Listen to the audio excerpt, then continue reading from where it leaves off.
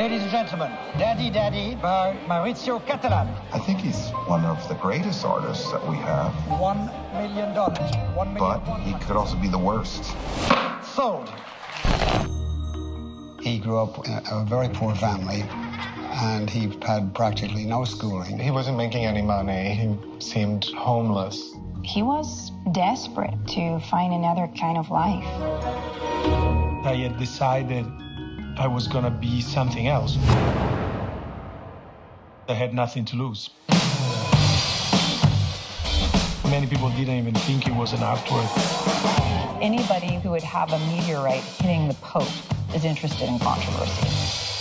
There was a possibility that he'd be arrested. And I think if he had, it would have pleased him no end.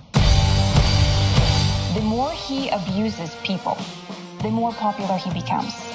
Maurizio is not dedicated his life to art, he's dedicated to success in art. Maurizio generates all these other identities.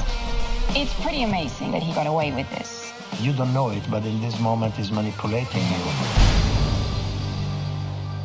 I'm probably fatter than last time you interviewed me, no?